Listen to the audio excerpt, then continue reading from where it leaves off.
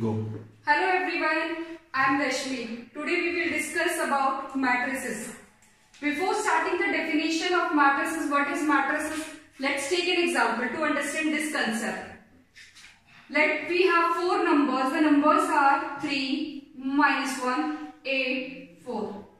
Now these four numbers can be represented in different forms. Let we can arrange these number in horizontal form. This is a one first case. Next, we can arrange these numbers vertically 3, minus 1, 8, 4. Now, next, we can arrange these four numbers in the form of rows and columns minus 3, 1, 8, 4. Now, see this. Here we have four numbers. These four numbers are arranged horizontally. Now this is horizontal. Horizontal means horizontal line is known as row. All the elements which are arranged horizontally are known as rows. If the elements are arranged vertically, then it is a column. Now here 1, 2, 3, 4. We have 4 rows and 1 column. Now in this form, there are 2 rows and 2 columns. Rows and columns. बच्चों, हमने क्या किया है? Four numbers लिए। Four numbers को different different way से arrange किया है। फ़र्स्ट फ़र्स्ट केस में मैंने क्या किया है? इन वैल्यूज़ को एक हॉरिजेंटल लाइन के अलाउंग अरेंज किया है। नेक्स्ट केस में हमने क्या किया इनको कॉलम के अरेंज कॉलम के अलावा अरेंज किया है। नेक्स्ट में क्या है? आपका रोज एंड कॉलम की फॉर्म में इनको अरेंज किया गया है। अब यहाँ देखिए।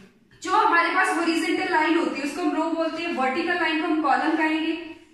If the elements are arrange horizontally then these lies in the row.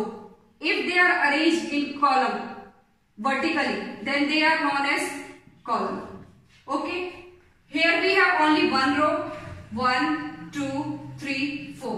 हमने क्या किया है? जो हमारे पास नंबर्स है, हमारे पास नंबर्स के फोर नंबर्स है, इनको डिफरेंट डिफरेंट वे से हमने अरेंज कर दिया। Horizontal vertical or in the form of horizontal and vertical now what is matrix now first question is arise what is matrix these arrangements these arrangements are matrices these arrangement are matrices numbers को हमने एक rectangular arrangement में लिखा this is your rectangular arrangement this is your rectangular arrangement in numbers को हमने different different rectangular arrangement में लिखा है तो ये हमारा क्या फॉर्म करेगा? मैट्रिसेस तो हम कहेंगे क्या? मैट्रिसेस क्या है हमारा? Simply rectangular arrangement of arrangement of what देखो, यहाँ हमारे पास क्या one row one two three four four columns यहाँ भी हमने अपने एलिमेंट्स को नंबर्स को किस फॉर्म में अरेंज किया? रोज और कॉलम्स की फॉर्म में. क्या हमारे पास क्या है? One two three four and one column here four rows and one column here two rows and two column तो rectangular arrangement of rows and columns rows and columns the rectangular arrangement of rows and column in which the most important condition in which, अब यहाँ देखिए row के अंदर कितने elements हैं? One two first row contains two elements second row also contains two elements it means each row should have equal number of elements similarly the column has one two two element this second column है two element one two तो हमारे पास यहाँ से एक special condition निकल के आती है कि rectangular arrangement of rows and column in which each row contains या फिर हम कह सकते हैं each row and column contains equal number of elements this is the definition of matrix matrix क्या है? It is simply rectangular arrangement of rows and columns in which each row and column contains equal number of elements this is your definition of matrix अब बेटा देखो, कोई भी हमारे पास matrix है, उसकी स्टडी के लिए हमें तीन पॉइंट्स ध्यान रखने पड़ते हैं। They are three points which we need to learn first one is order first one is order second one is elements and third one, position. किसी भी मैट्रिक्स को फॉर्म करने के लिए हमें तीन बातें ध्यान रखनी होंगी। फ़र्स्ट है आपका ऑर्डर नेक्स्ट है आपका एलिमेंट्स थर्ड है आपका position order what is order order क्या होता है? अब देखो, हमने मैट्रिक्स की डेफिनेशन पढ़ी है।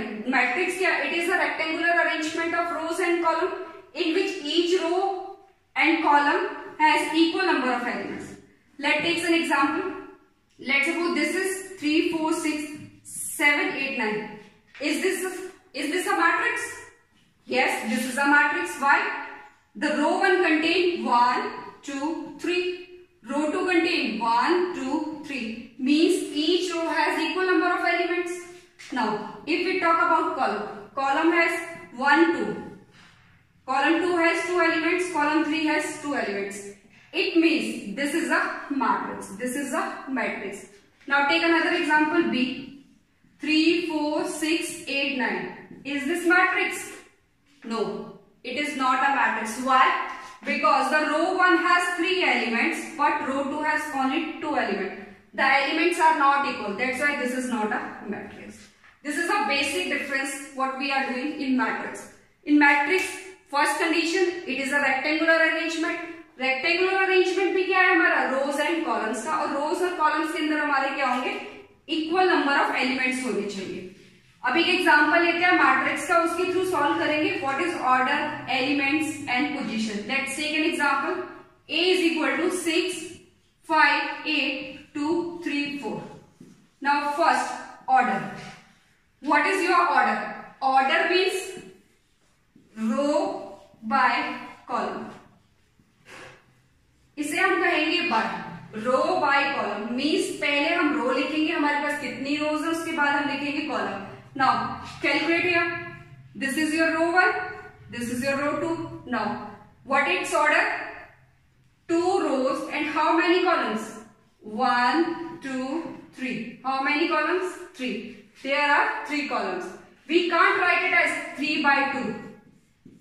जब भी आप हमेशा ऑर्डर लिखोगे तो पहले ध्यान रखना है कि पहले पोजीशन पे रो की वैल्यू आएगी सेकंड पोजीशन पे आपकी कॉलम की वैल्यू आएगी अगर आपने इसको लिख दिया थ्री बाई टू तो ये आपकी डिफरेंट मैट्रिक्स बन जाएगी, जिसके अंदर नंबर ऑफ़ रोज क्या है आपके थ्री और नंबर ऑफ़ कॉलम्स क्या है आपके two this is the major difference next है elements what are the elements second elements elements क्या होंगे? Elements are known as entries जो हम इसके अंदर एंट्रीज डालेंगे, या फिर कंपोनेंट्स या फिर इसके कंपोनेंट्स अब हमारे पास एक मैट्रिक्स है.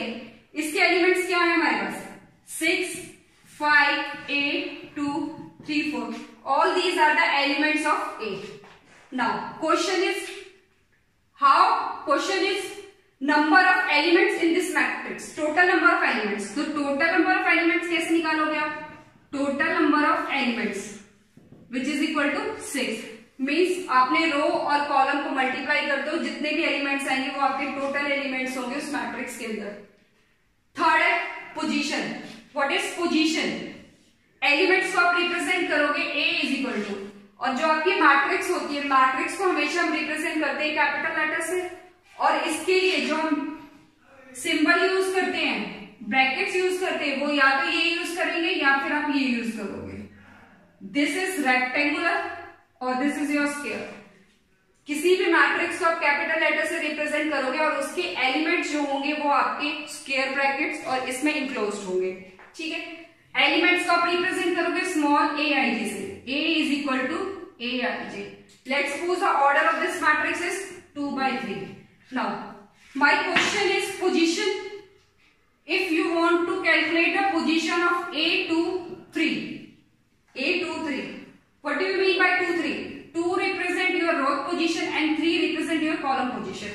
तो हमें चेक करना है कि सेकंड रो थर्ड कॉलम पे कौन सा एलिमेंट लाई कर रहा है।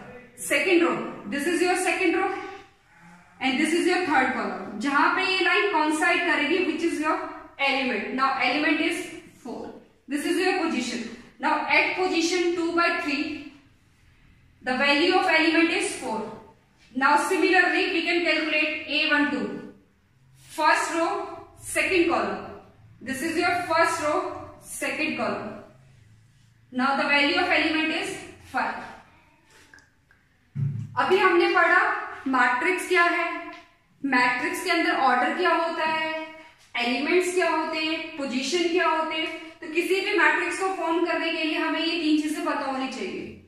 नेक्स्ट है आपका general form of matrix next question is general form of matrix अगर हम मैट्रिक्स को जनरलाइज करें तो कैसे करेंगे? General form of a matrix. Let's suppose we have m rows and n columns. For generalization, we take m rows and n columns. We have m rows and n columns. Now you know how we represent matrix. It is represented by capital letters say A or its elements are enclosed within this bracket. Okay. Now, this is your first row, first column. ये element जो आप put करोगे this is your first row first row first column okay now we are putting element in first row and second column a1 2 now we are putting element in first row third column How many columns we have? We have n columns up to so on. Last column हमारे पास है n. Row हमारी one है. Next, this is your second row.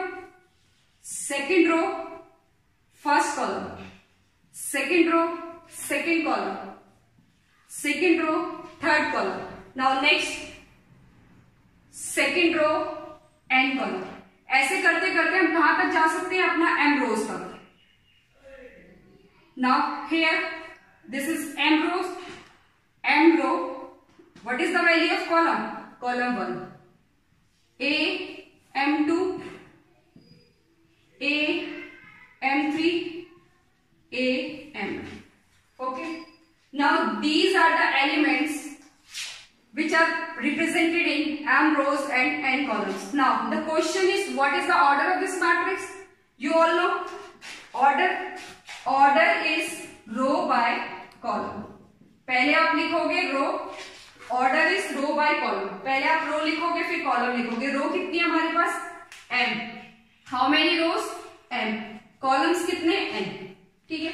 This is your general form of matrix अब यहाँ है हमारे पास, अब देखो एम क्या है आपका? आई पोजिशन पे. एन क्या है आपका? जे पोजिशन पे. तो आप किसी भी एलिमेंट को मैट्रिक्स की कैसे रिप्रेजेंट करेंगे। A I J is equal to A is equal to A I J M by N now what is the value of I I हमारा कहाँ से स्टार्ट हुआ था? आई हमारा स्टार्ट हुआ है वन से और गया कहाँ तक है? एम तक। नेक्स्ट जे स्टार्ट हुआ है वन से लेकर एन तक। Now this is all about general form of a matrix The value of m, the value of i lies between 1 to m and the value of j lies between 1 to n. i represent your elements in the ith row and j represent your element in the jth row. अब बेटा इसके ऊपर question कैसे आते हैं different type of questions first question question number one if a matrix if a matrix has five elements. Question is if a matrix has five elements then what are the possible what are the possible orders it can have अगर आपके पास कोई matrix है, जिसके अंदर आपके five elements है तो उस मैट्रिक्स से क्या क्या पॉसिबल ऑर्डर्स हो सकते हैं, ये हमें कैलकुलेट करना है। तो सोल्यूशन क्या होगा बेटा? देखो, आपको पता है कि टोटल नंबर ऑफ़ एलिमेंट्स कैसे निकलते हैं? लेट्स सपोज़ आपके पास एम रोज है एन कॉलम है तो टोटल नंबर ऑफ़ एलिमेंट्स निकलेंगे एम एन तो ये वैल्यू आपको गिवन है। एम एन की वैल्यू आपको कितनी गिवन है? फाइव गिवन है। The value of M N is five ये फाइव कब आता है? जब आप m और n को मल्टीप्लाई करते हैं मीन्स हमें वो पेयर्स निकालने जिनका मल्टीप्लीकेशन करने के बाद हमें क्या मिले? फाइव मिले। तो क्या क्या पेयर्स हो सकते हैं? द पॉसिबल ऑर्डर्स आर क्या क्या पॉसिबल ऑर्डर्स हो सकते हैं?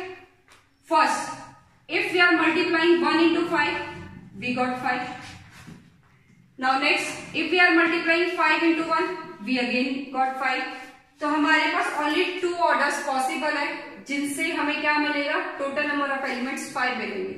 तो there are only two possible orders which are one comma five five comma one now take another example let suppose a matrix has a matrix has 24 elements what about if the matrix has 24 elements अगर किसी मैट्रिक्स के पास 24 elements हैं तो कितने possible order आप form कर सकते हो? सिमिलरली आपको एम एन की वैल्यू कितनी गिवन है?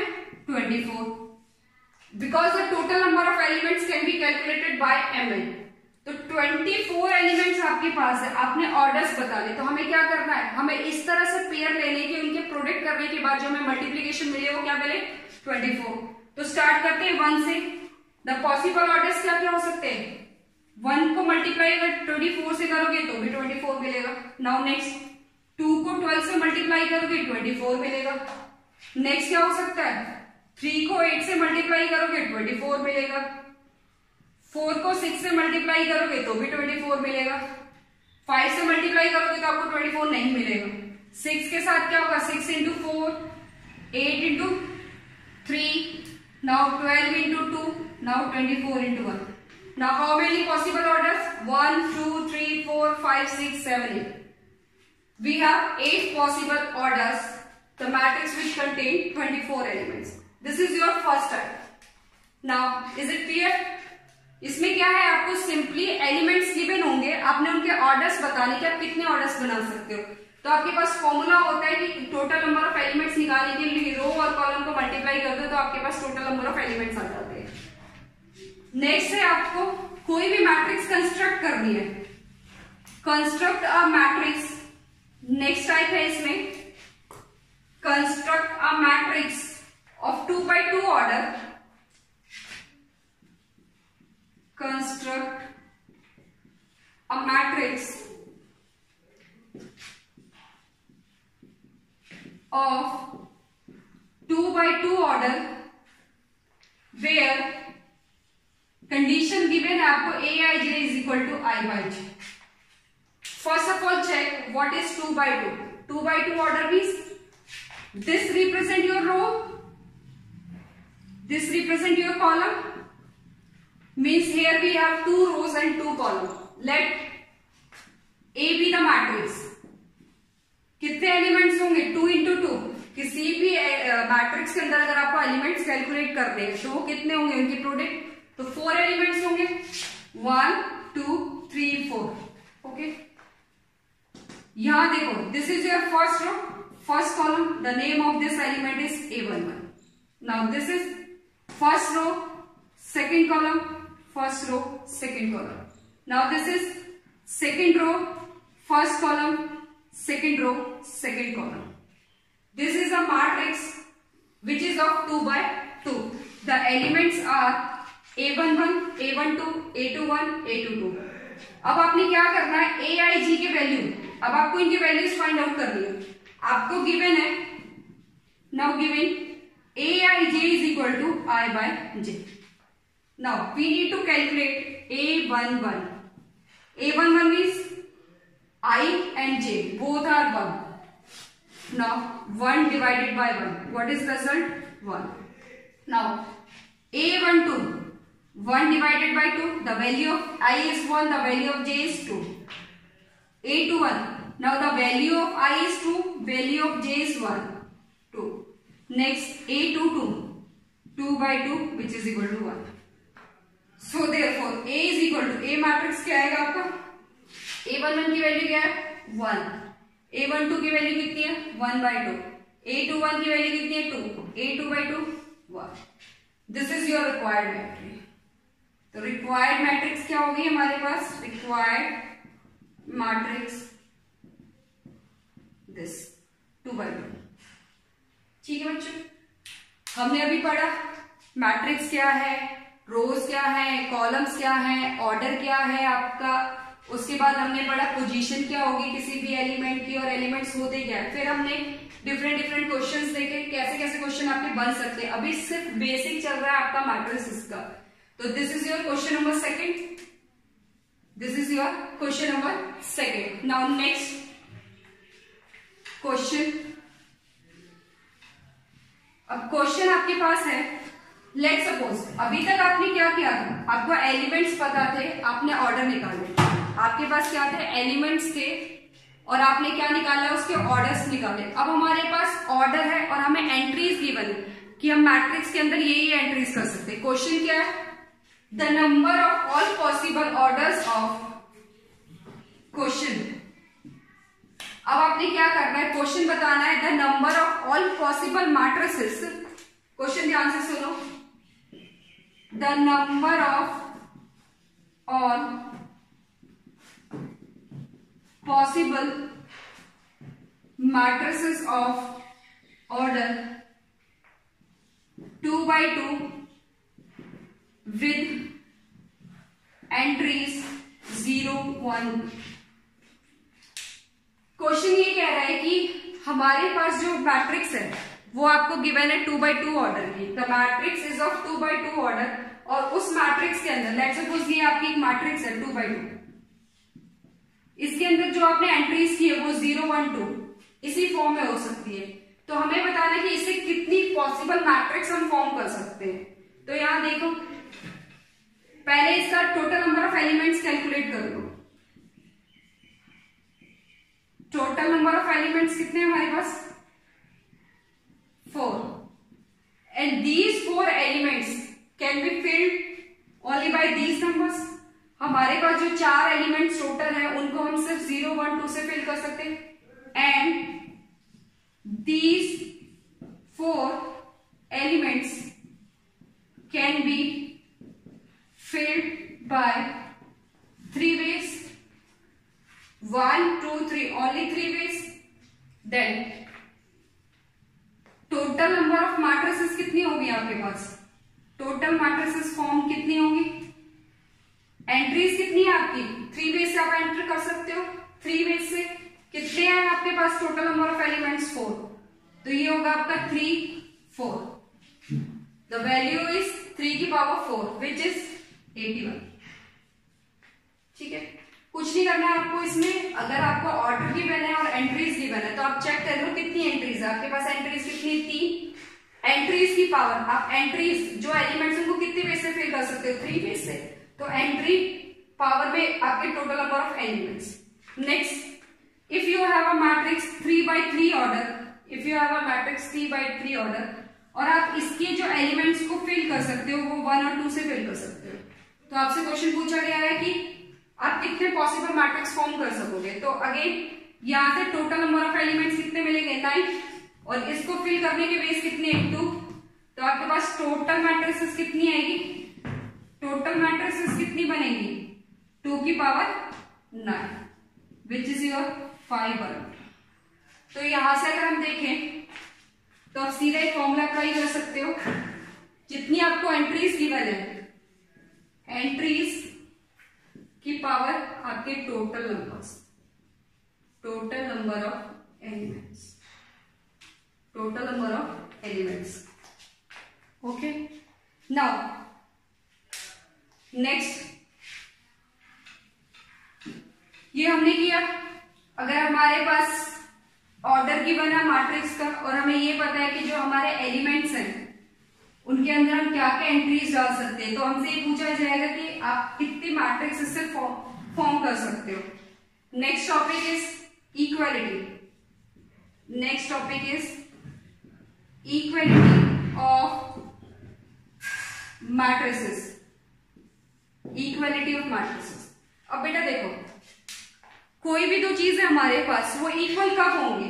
अब देखो, अगर मैं आपसे पूछती हूँ are these equal in my one hand there is duster in my other hand there is marker is these two are equal? No, these are not equal. Why these are not equal? This is used for writing, this is used for rubbing. तो equality equality के लिए क्या होती है? हमारे पास कुछ conditions होती है। कुछ क्या होती है कंडीशंस होंगी। उन कंडीशन के बेसिस पर हम चेक करते हैं कि वो इक्वल है या नहीं। अगर मैं आपको बोलूँ, ये इक्वल है, आप इजीली कह सकते हैं यस दीज आर इक्वल तो सिमिलरली इक्वलिटी ऑफ़ मैट्रिसेस क्या होगा? इक्वलिटी ऑफ़ मैट्रिसेस तो यहाँ देखो।